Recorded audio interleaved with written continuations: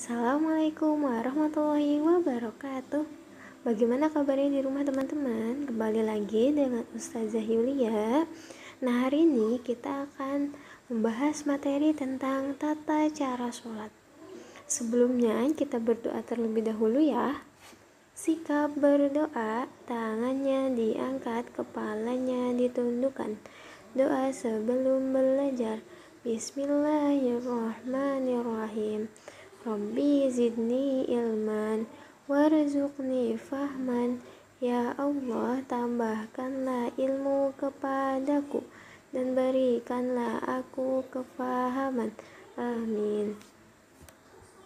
Nah hari ini Ustazah akan membahas tema 3 dan subtema 2 Subtemanya tentang tugasku sebagai umat beragama terdapat di dalam surat Az-Zariyat ayat 56 yang artinya dan aku tidak menciptakan jin dan manusia melainkan supaya mereka menyembah kepadaku.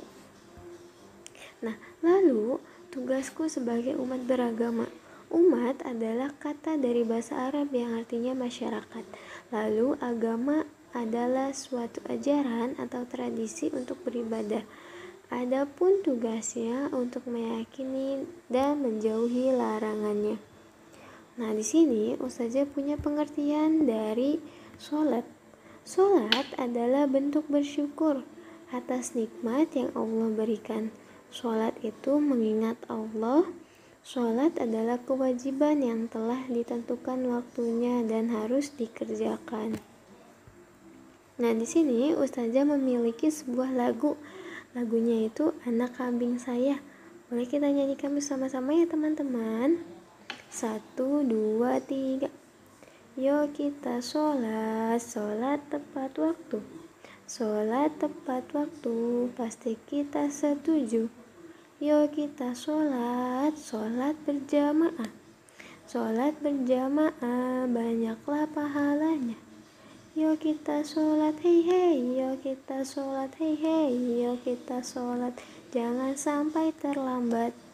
Yo kita sholat hei hei Yo kita sholat hei hei Yo kita sholat Jangan sampai terlambat. Nah itu adalah lagu dari Yo kita sholat. Pastikan teman-teman sudah hafal ya lagunya. Di sini ada tata cara sholat yang pertama yaitu ada niat seperti terdapat di gambar yang di samping. Nah, niat itu seperti yang ada gambar di samping teman-teman yaitu berdiri tegak. Nah, niat yaitu dilakukan di dalam hati ketika hendak mendirikan sholat. Nah, di sini Ustazah memiliki contoh dari niat sholat isya. Ustazah izin mencontohkan ya usolli fardal isya'i arba'a raka'atin mustaqbilal qiblati ma'muman lillahi ta'ala. Nah jika teman-teman sebagai makmum pastikan teman-teman niatnya dengan makmuman karena itu teman-teman sebagai makmum. Lalu yang kedua takbiratul ihram Nah, seperti yang dicontohkan di dalam gambar takbiratul ihram itu mengangkat kedua tangan sejajar dengan bahu, telapak tangan dihadapkan ke arah kiblat lalu jari-jari tangan lurus dan ibu jari disejajarkan kemudian daun telinga disejajarkan dengan daun telinga kemudian mengucap takbir dan yang ketiga, berdiri bersedekap. Nah, berdiri bersedekap ini seperti yang terdapat di contoh teman-teman. Setelah mengucap takbir, dilanjutkan dengan meletakkan telapak tangan kanan di atas punggung telapak kiri dan keduanya tepat di atas dada. Kemudian membaca doa iftitah, surat Al-Fatihah dan surat pendek. Lalu ada ruku. Ruku ini takbir dan mengangkat tangan, meratakan kepala dan punggung. Kepala tidak ditegakkan dan tidak ditundukkan. seperti yang terdapat di contoh. Jadi, kepala dan punggung ini harus sejajar, teman-teman. Nah, adapun bacaan rukunya. Subhana rabbiyal azimi wa bihamdi. Nah, itu bisa juga atau Subhana rabbiyal azimi. Nah, dibacanya sebanyak tiga kali. Lalu ada i'tidal. I'tidal itu setelah membungkuk atau ruku, lalu kemudian bangkit berdiri tegak sambil mengangkat kedua tangan dan membaca Sami'allahu liman hamidah. Nah, itu adalah i'tidal. Lalu berdiam sebentar dan membaca Rabbana lakal hamdu seperti yang ada di gambar sebelah kiri. Nah, itu adalah i'tidal.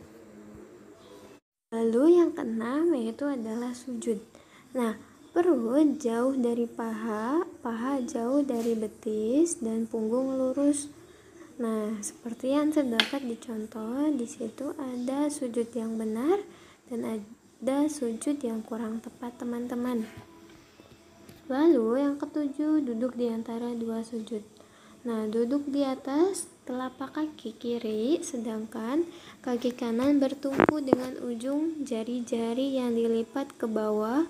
Kedua telapak tangan diletakkan di atas kedua lutut, kemudian membaca doa.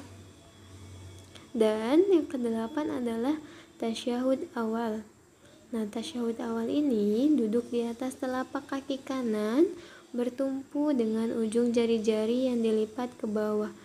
Telapak tangan kiri diletakkan di atas lutut kiri. Kemudian membaca tasyahud. Lalu yang kedelapan adalah tasyahud akhir. Nah, tasyahud akhir ini dengan cara menghilangkan kaki kiri di bawah kaki kanan, sedangkan kaki kanan bertumpu pada ujung jari yang dilipat ke bawah menghadap kiblat. Nah, lalu yang kesembilan, salam. Mengucapkan salam seraya telunjuk jari kanan ditarik kembali dan menoleh ke kiri dan kanan. Nah, kesimpulannya, Allah Subhanahu wa taala mencintai orang yang mendirikan sholat. Mohonlah pertolongan kepada Allah dengan mendirikan sholat karena Allah Subhanahu wa taala akan memberikan banyak pahala. Nah, proyeknya teman-teman membuat gambar sholat berjamaah sesuai dengan kreasi teman-teman. Nah, cukup sekian informasi yang dapat Ustazah sampaikan.